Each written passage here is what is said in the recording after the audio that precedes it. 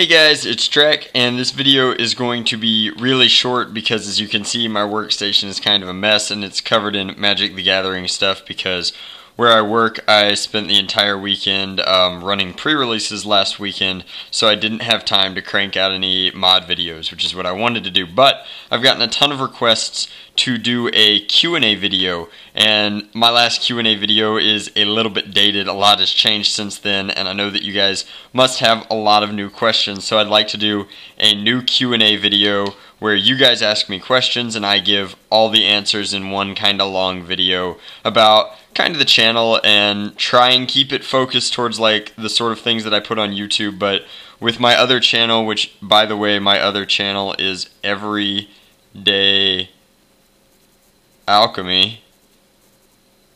Um, I've been doing a lot of like Magic the Gathering playtesting videos, and I'm thinking of like on my next big Magic trip, which will be my trip to uh, Indianapolis for the Invitational that I'm qualified for. I will uh, I'll make like kind of a vidlog of that entire trip, and I've been told that that could be pretty interesting content. But that will of course be on my secondary channel. Um, questions can be about my secondary channel. They can really be about anything. I want to answer the questions that you guys have an interest in. I also need some um, suggestions for a new contest,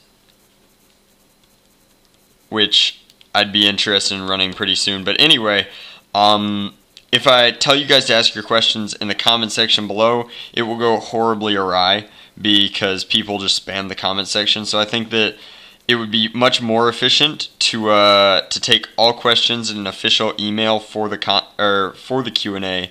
So the Q and A email, and I'll answer any questions sent to this email within a pretty marginable reason. Um, will be ask Lord Drac. That's all one word at gmail.com.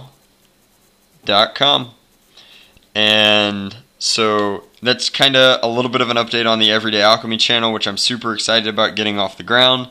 Uh, I need some ideas for contests, and if you want to ask a question and have it answered in my next video, which will be the answers to the Q&A, unless I find some sweet Nerf blaster to review or work on between now and then, then you can send your question to this official questionnaire email address, and I look forward to hearing from you guys pretty soon. As always, thanks for watching.